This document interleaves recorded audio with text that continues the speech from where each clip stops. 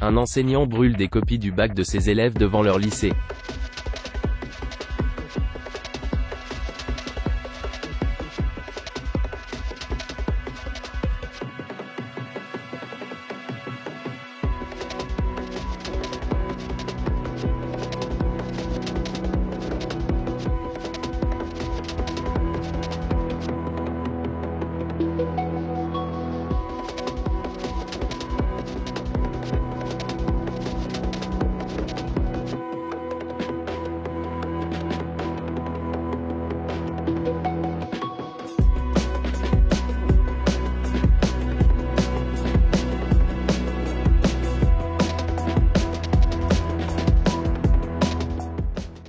Aucun des élèves ne sait parler anglais.